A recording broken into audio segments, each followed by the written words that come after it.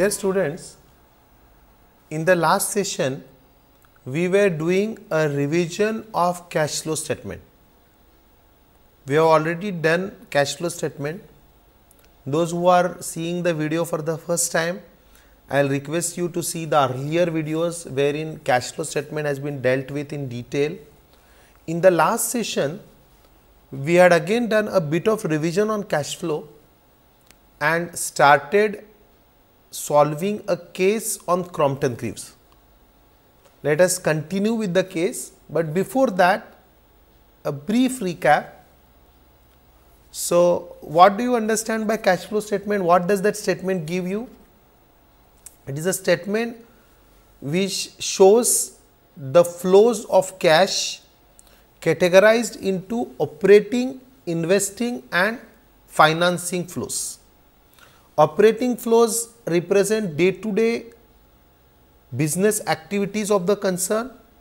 Investing are the flows related to fixed assets, investments or receiving of interest dividends.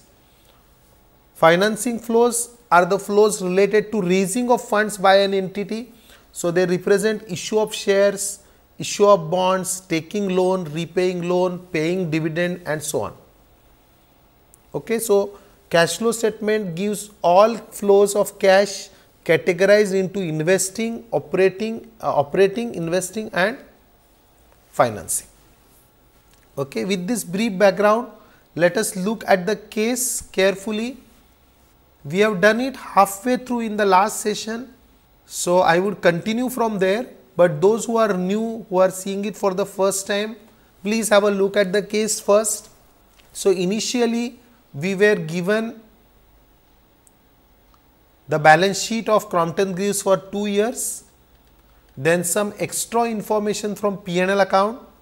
Please read the problem carefully. You can take a printout of the problem from the web course, from the website and then solve it along with me. So, here 2 years data is available and some extract from P&L is also available. Now, how to start solving it? Can you think over how to start solving it? We look at the difference. So, we calculate the difference between the two years figures because usually the difference represents flows. Particularly for the balance sheet items, say for example, unsecured loan is 8, it has become 0. That means the loan to the tune of 8 crore has been repaid during the year so, that should be marked as a flow. So, we will calculate the difference. What is the st step number 2? In step number 2, we will mark the difference as O, I or F. So, we categorize it into operating, investing and financing. We also mark it as inflow or outflow. In the last session, we had done it in detail.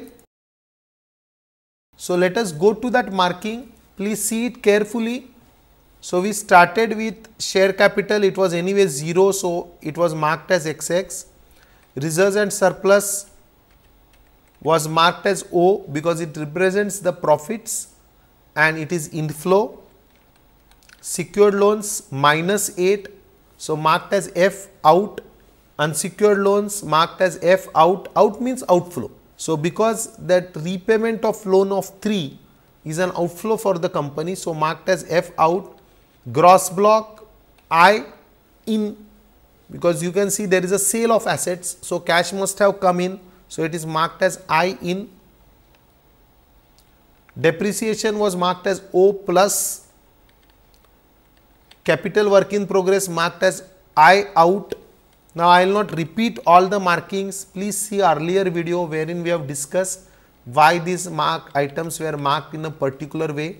If you look at P&L items, most of the items are marked as XX. Now, why they are marked as XX? Because they do not actually get reflected in cash flow statement. I am not saying that they are not flows. For example, when the sales turnover happened, company would have received cash or when the manufacturing expenses are paid company would have paid cash But under operating items, we directly take profit. We do not take each item individually. That is why for convenience they have been marked as XX. Okay. So, keep in mind for operating items we follow an indirect method. One more thing for these P&L items the difference is not important. The current year figure is important. Now, let us go to the next stage now with having marked all the items into OIF and in out, we go for preparation of cash flow statement. This is the format for cash flow statement. It starts with operating activities. The first item is profit before tax, then adjust for non-cash items, adjust for non-operating items, adjust for working capital items the total gives you the total cash from operating activities. Okay. Up till this we had done in the last sum. Now, to calculate PBT, we are not given directly the amount of PBT. So, we had to make a working note. So, have a look at working note. For calculation of PBT, we started with increase in reserves, then add tax, add dividend gives us PBT. So, PBT was 643 then we adjusted for non-cash item that is depreciation which is 5 then we added we, we went to non-operating items. We have only one non-operating item that is interest received. And it is marked as minus 28 then adjust for working capital items so each of the current assets and liabilities should be marked inventories it's minus 43, sundry debtors minus 225, loans and advances is plus 251. Why it is a plus figure? You will realize that inventories have increased. So, increase in inventories is a outflow for the concern. So, it has a negative effect on outflow. I do not mean that actually when the inventory increases the cash goes down. These are the year end figures, but during the year because the inventories have increased they have led to negative impact on operating flows. So, it is marked as minus 43. I will specify it for more clarity. So, we have increase in inventories which is minus 43, then increase in sundry debtors which is minus 225, but when it comes to loans and advances you will realize that there is a decrease in loans and advance. So, it is plus 251. Okay. I am going little slow because many times in operating flows there is a confusion investing and financing you will find it very much straightforward. Next is current liabilities. If you go to balance sheet you will realize that current liabilities have actually gone up. Okay. So, increase in current liabilities represents also increase in cash. Now, why is it so? Increase in current liabilities, why does it represent increase in cash? The fact that there are current liabilities means we have paid lesser cash. So, an increase in current liability means the availability of the cash at the end of the year will increase. That is why it is a plus item. In case of provisions, you will realize that there is a decrease in provisions. So, it is very similar to current liability, a decrease in provision will improve the cash availability. So, the uh, sorry increase in provision will improve the availability. In this case, the provisions have gone down. So, company has paid more money. So, it is minus 251. Now, using all this information, we have got the total of cash from operating activities.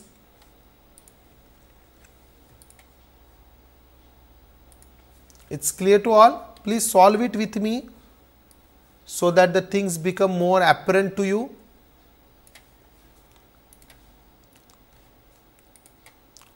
Now what is the next heading after cash from operating activities the next heading represents cash from investing activities.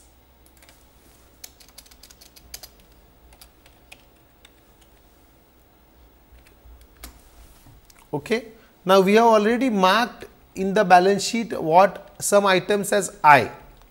So, have a look at balance sheet, look at which items are I items. You will see that mostly the asset items are marked as I. So, here you have a gross block which is marked as I. Should we take the current year's figure or the difference? That is 1366 should we take or 259 we should take?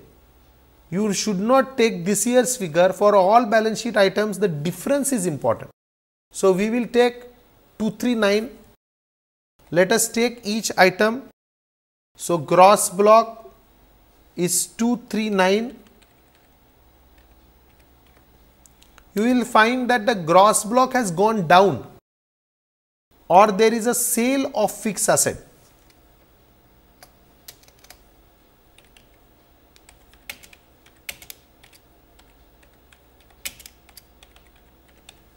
Okay. Now, this sale of fixed assets is it a inflow or outflow? This is an inflow. So, I marked it as 2 plus 239 now, next item marked as I is capital work in progress. You can see the capital work in progress has increased from 48 to 58. So, there is a difference of actually it should be 10. There is a rounding error. I have marked it as 10 now. So, there is an increase in capital work in progress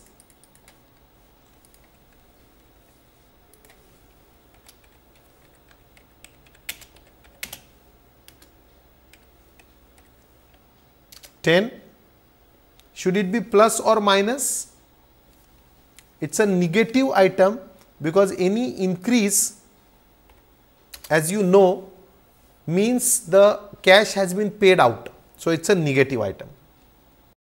Next item which is of I category is investments. You can see there is a increase in investments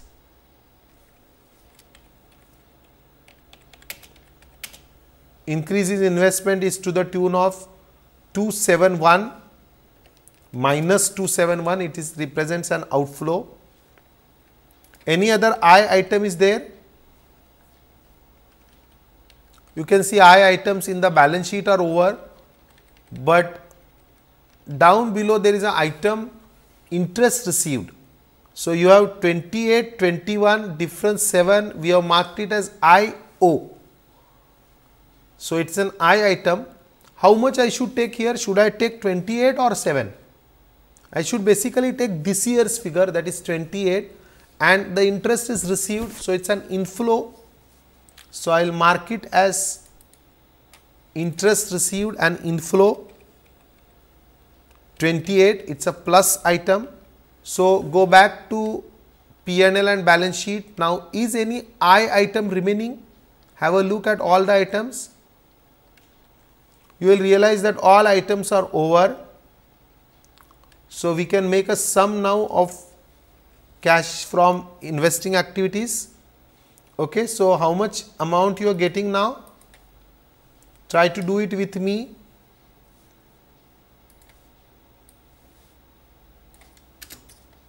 So, it is minus 14. Are you with me? You will see that in case of investing activities, we follow a direct method. So, it is very easy to understand that the fixed assets have been sold, we have received money. So, we have marked it as 239. Working capital has increased, investment has increased, we have paid money. So, it is minus 10 minus 239. Interest is received. So, company has received money. So, it is plus 28. Okay, so, actually investing and financing items very easy to do operating there was a problem because we followed indirect method. We started with tax, made some adjustments. Okay, so keep this in mind that operating must be done by indirect method. For investing and financing, it's very simple. You can directly mark the items under those categories. Now the third category. So what is the third category? Third category is cash from financing activities. again go to P&L and balance sheet. Have a look at all the items, see which items were marked as F. You will see that from liabilities we have two items, secured and unsecured loan 8 and 3, the loans were repaid. So, they represent an outflow.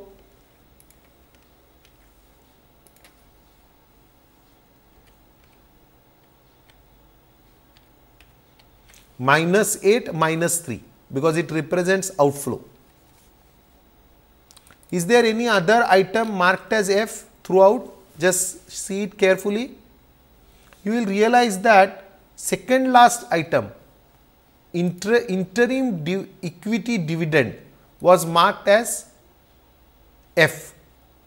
So, the dividend has been paid. So, basically it is an outflow Shall I take 90, 141 or 51? I will only take 90, the current year's figure. So, interim equity dividend I will add paid for more clarity and this is also minus 90, it is not plus 90. Okay. So, this is the total of cash from financing activities. So, you can see we have taken three activities operating, investing and financing. Have we left any item? Have a look at P&L and balance sheet systematically. I think one of the items is left out. Just I would like you to tell me what which item is left out. Look at everything carefully. You will observe if you look at the P&L and balance sheet, you will realize that all items in balance sheet have only one effect. They were marked as O, F, I and so on. Okay. Just check whether everything has been accounted. So, we have taken loans, we have also taken gross block, depreciation, capital WIP, investment, inventories, debtors, cash and bank we have not taken because that is to be taken subsequently. Then loans and advances, current liabilities, provisions. Mind well every item had only one effect. P&L most of the items were XX but the few items which were there have two effects. So, interest received was taken as IO. Since interest is received, it is an investing inflow but it was reduced from PBT.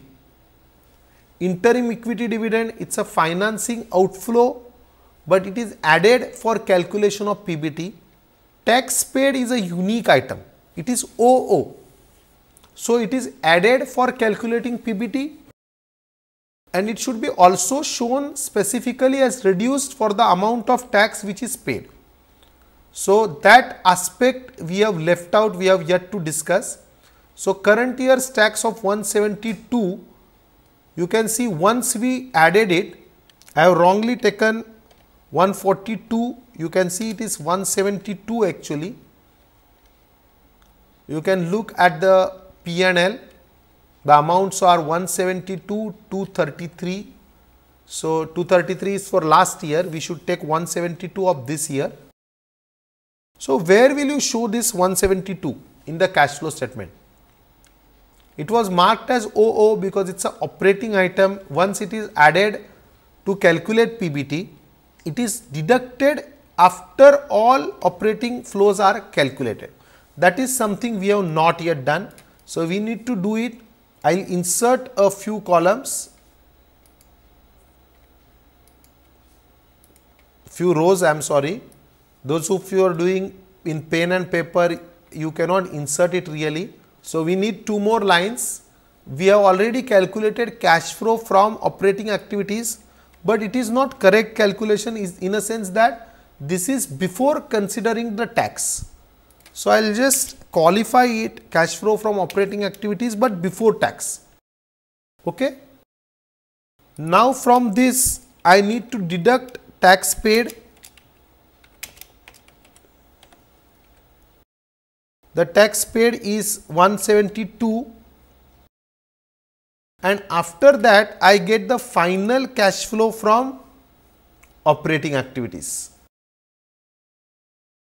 Okay, so it is not 459, it is 459 minus 172. So, you will get 287 as the final cash flow from operating activities. So, we have started with operating activities, we have gone by indirect method. So, we started with PBT then made all the three adjustments, reduce the tax. So, we got 287.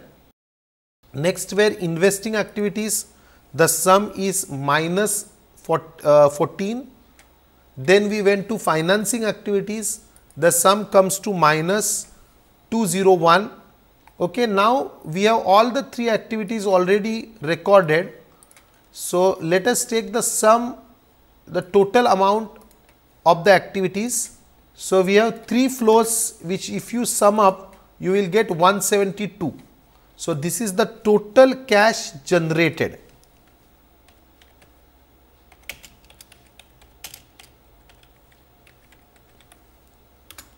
Now, how do we cross check whether it is correct? Go back to cash and cash equivalent which was categorized as C item. You will see that we have opening cash of 151 and closing cash of 321. So, there is an increase of 170. This increase is basically being explained by making a cash flow statement. So, we add opening and closing cash equivalent and show that all differences have been properly explained.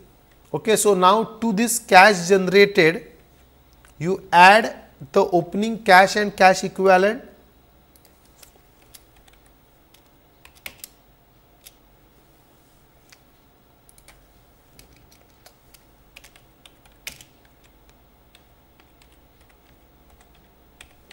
This is cash and cash equivalent as on the big as at the beginning of the year. So, as on 1 4 2011 we basically had 151 in the beginning and at the end we should come to cash and cash equivalent as on 31 12 uh, sorry 31st March 2012.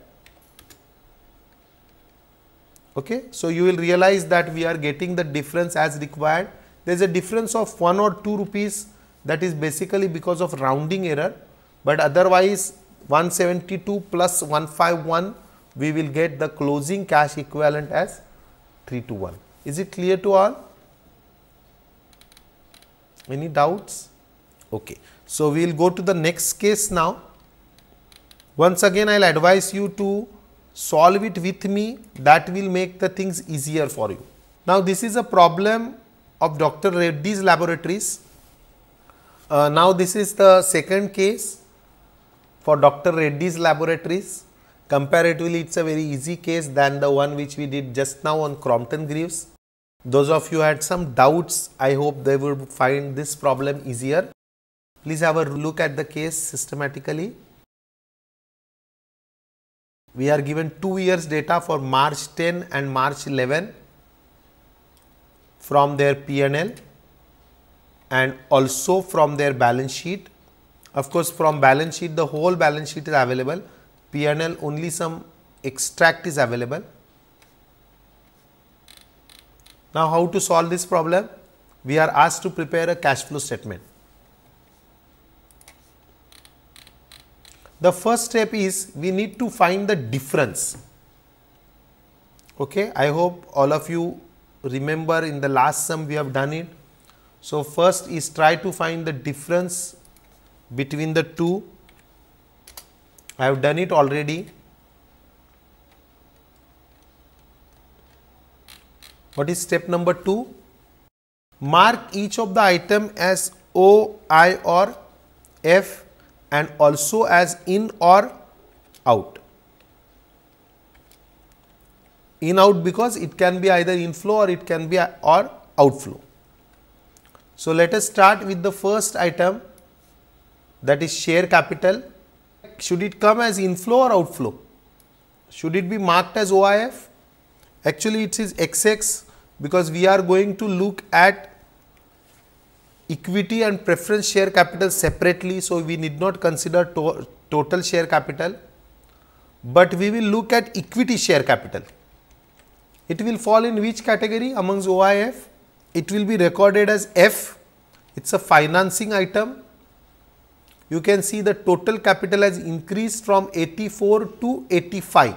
So, increase of 1, it is a financing item. So, it is F. Is it in or out? It is an inflow. Okay. Company will receive money, they will issue shares, they will receive money. First item total share capital also you can mark it as F and in, but do not mark both the items. Since we are going to mark equity share capital, we have not marked total share capital. Okay. Next is reserves and surplus.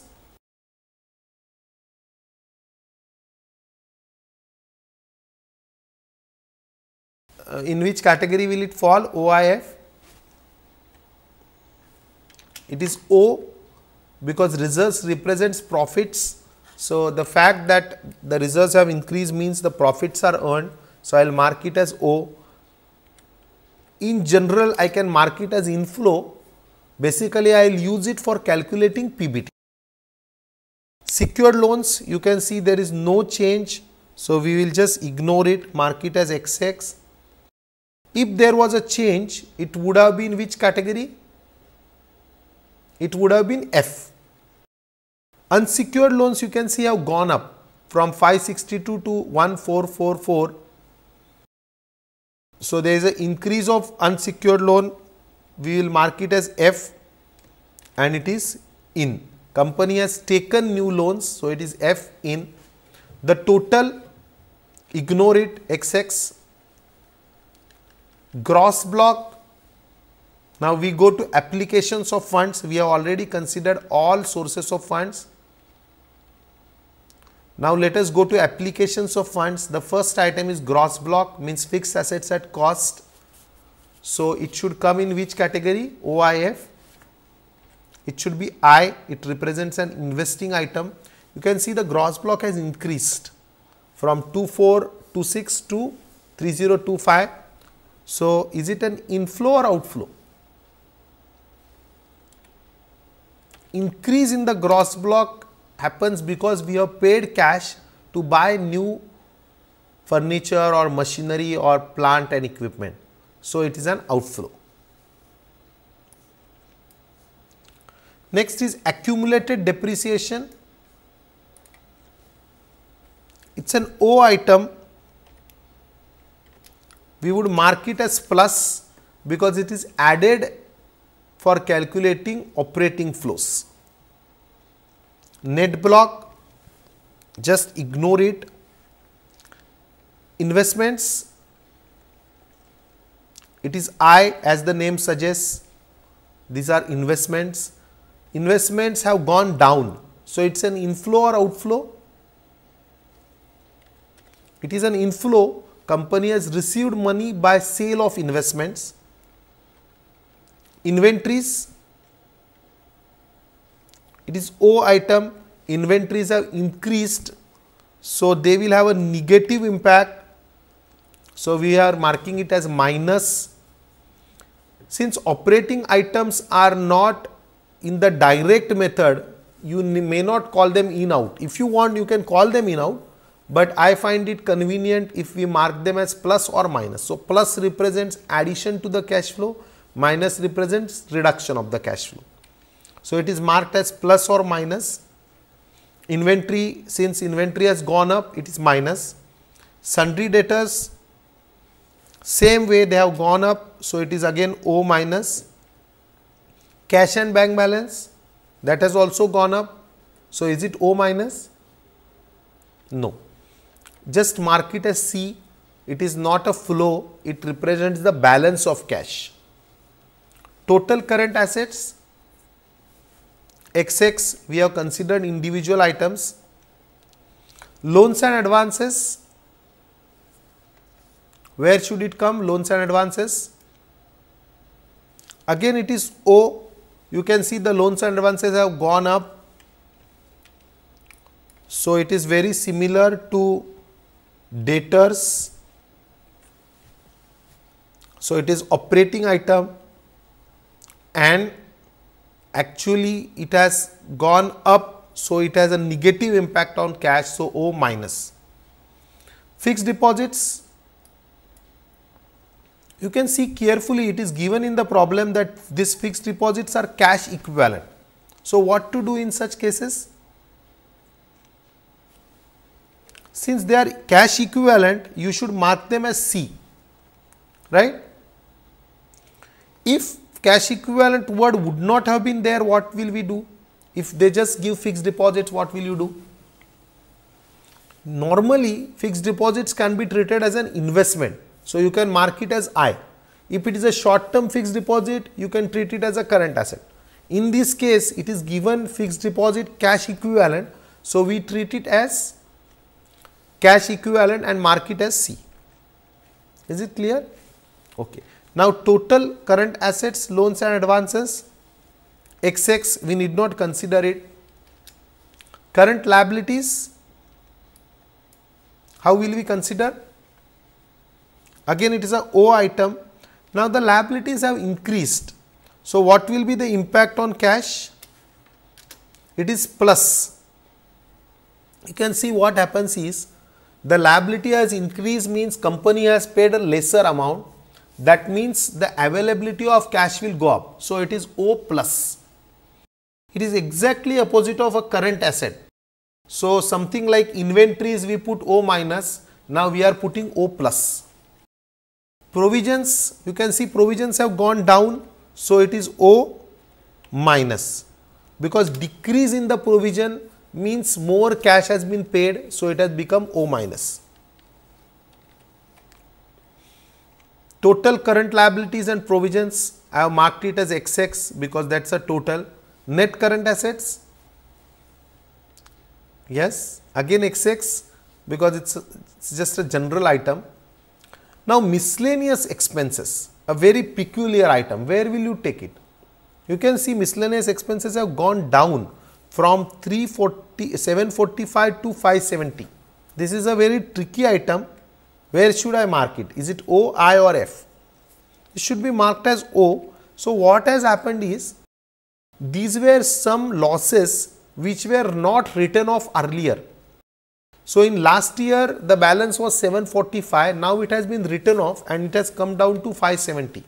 So, it is just like provision for depreciation. As we are writing off our fixed assets, we are writing off these, as, these losses which are called as miscellaneous expenses. Now, the balance has gone down. So, similar to depreciation, I will add it for calculation of cash from operations. Okay. I do not mean that I have received cash. Since we follow indirect method in O, it needs to be added to PBT because it has been provided for when the PBT was calculated. Okay.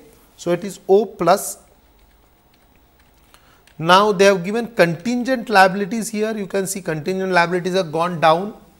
So, it should be marked as nothing, it is XX, it is just off balance sheet item, it is not a part of any cash inflow or outflow, it is only a disclosure made. So, mark it as XX. Book value, again an extra disclosure, we do not need it right now. So, mark it as XX. Sales turnover, XX, ignore it because we go by indirect method for operating flows. So, ignore sales turnover.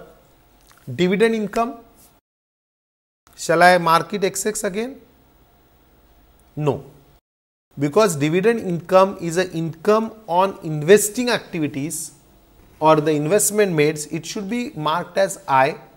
It will also have an impact on O, okay, because it comes in P&L. So, please mark it as IO is it an inflow or outflow? Since it is an income, it is an inflow. Raw material consumed, XX, it is an operating item. I do not write operating items individually, so XX. Power and fuel, again XX. Employee cost XX. Interest, interest is not xx. This interest represents interest paid. So, it is a financing item f and you also mark it as O. All P&L items will have two effects. So, for convenience we are marking them as IO or FO. Dividend income was marked as IO here.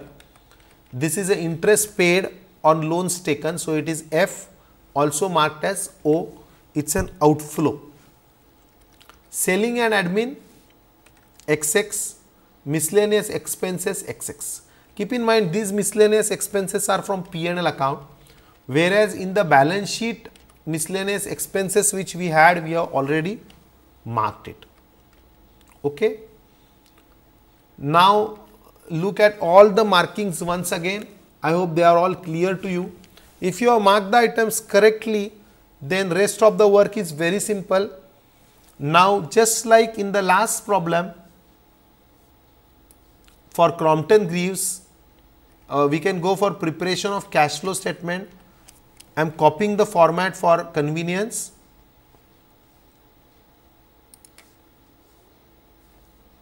I request you once again to do along with me. Now, this is not for Crompton Greaves, this is a problem of Dr. Reddy's. So, let us change the company's name.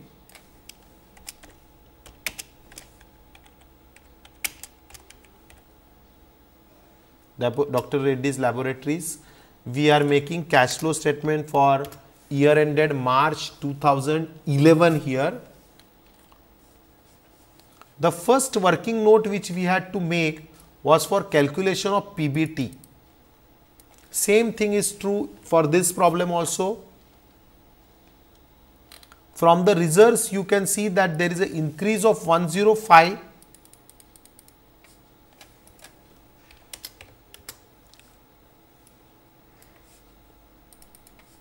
then dividend paid and taxes paid was not given in this is not given in this problem you can look at the P&L account.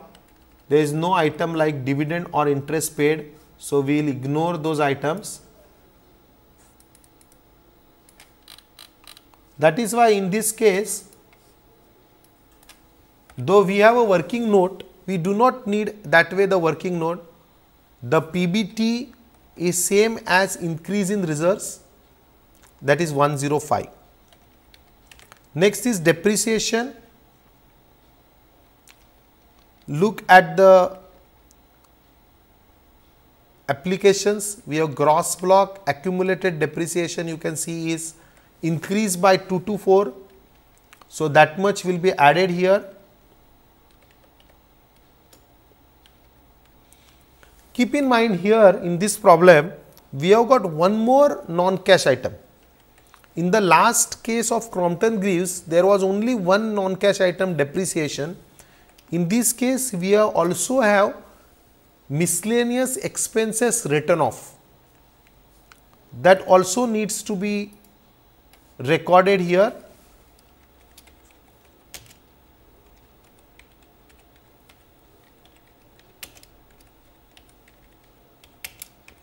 Miscellaneous expenditure written off. You can see there was a last item in assets, how much amount we should take 570 or 175? We should take the difference because what is written off in the current year needs to be added back to calculate the cash from operating activities. So, we will take 175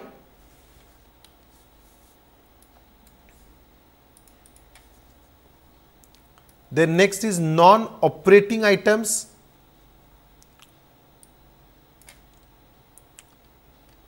in the P&L we have got an item called dividend income 137 that is a non operating item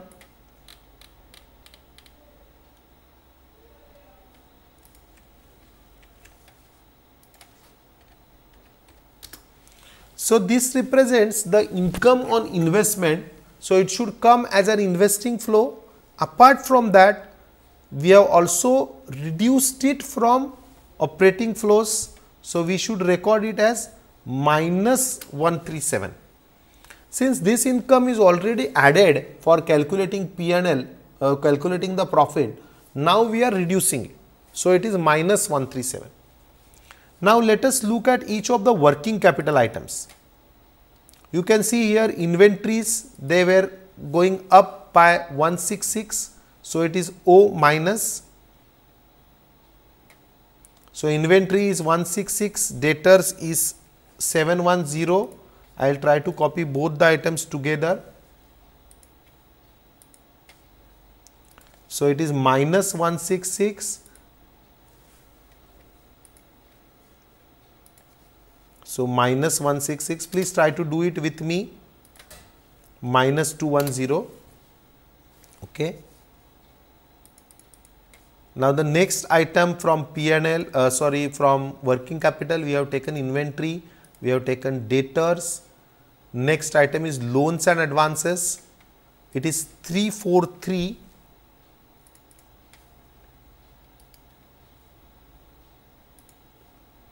I will paste value only.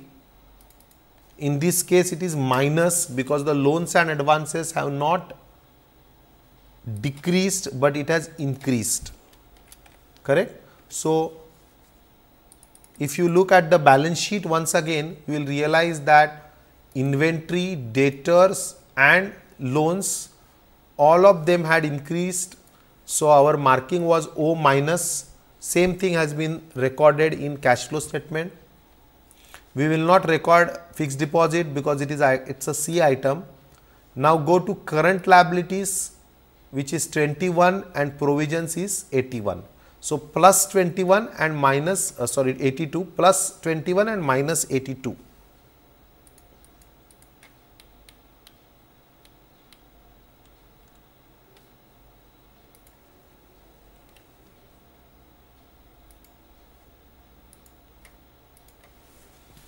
Okay, there is an increase in current liabilities which means the cash availability also increases. So, it is plus 21. There is a decrease in provision. So, it is minus 82. So, all the working capital items are over. Now, we can go back and check if any of the O items has not been dealt with. Just look at it carefully. So, we start with reserves, then accumulated depreciation, inventories, sundry debtors,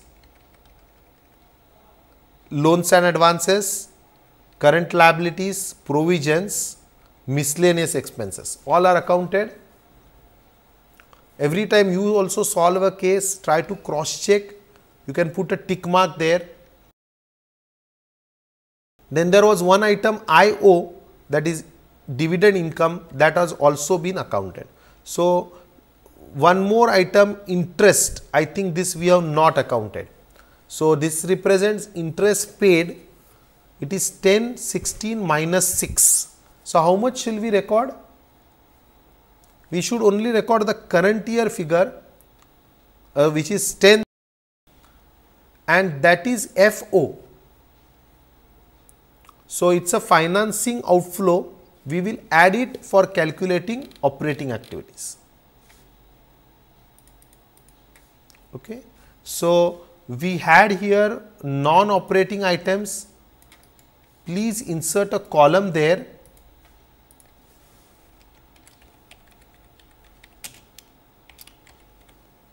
Okay, in the last problem we had interest received. Now we have got interest paid. Okay? Uh, we should not take the difference. We will go back again. So for the additional item we are not bothered about 6 what we are interested is 10 same way for dividend income also we should take 117 just check if we have done it correctly. So it is not 137 it is 117 and here we should take 10 is it correct? For dividend income, we said minus 117, but for interest paid, we said plus 10. Okay. So, we have recorded all items, nothing about tax was given. So, tax paid, we have recorded it as 0. if you take the sum of all the items, you can see that minus 883 is a cash from operating activities.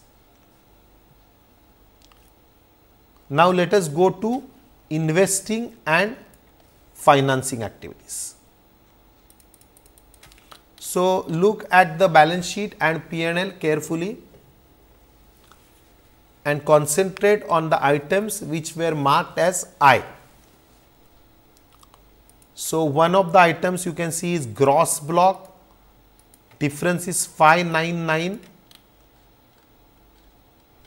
In this case, it is not the sale, but it is purchase of fixed assets 599. Should it be minus or plus? It should be minus because it is a decrease of cash Then we also have, we do not have any work in progress here. Then we have investments which is I in 191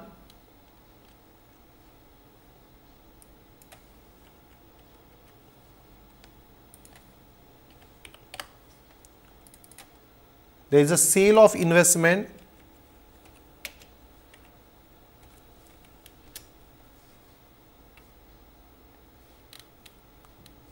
There is no interest received, but there is dividend income of 117.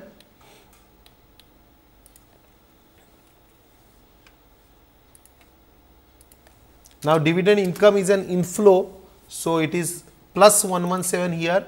So, you will get negative 291 as a total of investing activities. The last category is financing activity, very simple. Look at F items so, you will see that there is equity capital difference is 1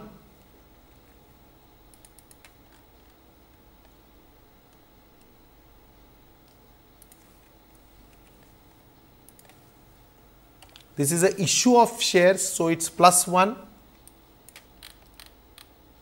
Then secured loans, there was no difference, but unsecured loans increase of 882 so, it is also representing an inflow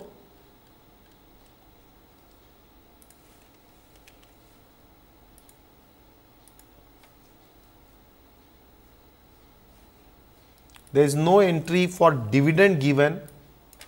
Just check there is one item for interest paid of 10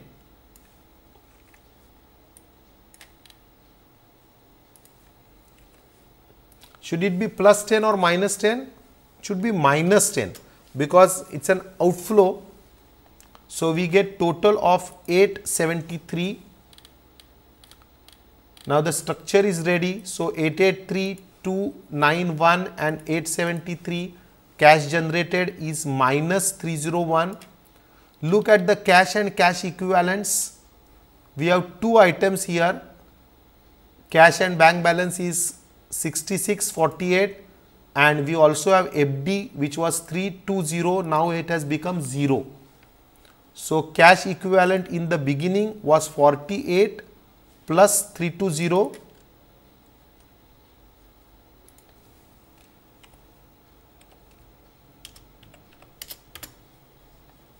and cash equivalent in the end represents only cash and bank balance which is 66.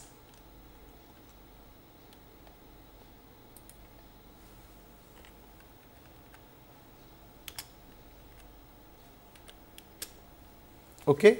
So, 301, 368 we get 67, 1 is due to rounding error, but otherwise all the items have been correctly dealt with.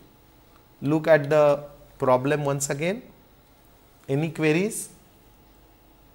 You can look at the earlier video where more details have been discussed. Overall, today we have to we have tried to cover the case on Crompton Greaves and we have also started and completed case on Dr. Reddy's laboratories. I hope with this now the concept of cash flow will become much more clear to you. So, we stop here. Thank you so much.